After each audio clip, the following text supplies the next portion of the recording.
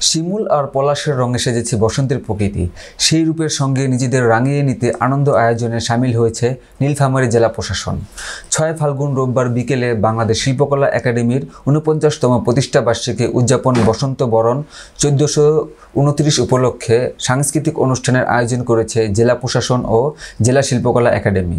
Cake কেটে অনুষ্ঠানে শুভ উদ্বোধন করেন নীলফামারী জেলা প্রশাসক পঙ্কজ ঘোষ।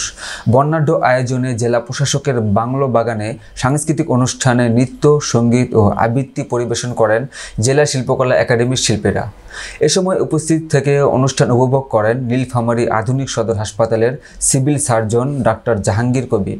জেলা সাংস্কৃতিক বিষয়ক কর্মকর্তা কে এম আরিফুজ্জামান, সদর উপজেলা নির্বাহী অফিসার জেসমিন নাহার, সদর উপজেলা পরিষদ chairman Shahid Mahmud, vice chairman Shantona Chakraborty, chamber of commerce সভাপতি শফিকুল আলম ডাবলু ইটভাটা মালিক সমিতির সভাপতি দেওয়ান সেলিম আহমেদ সহ অন্যান্যরা।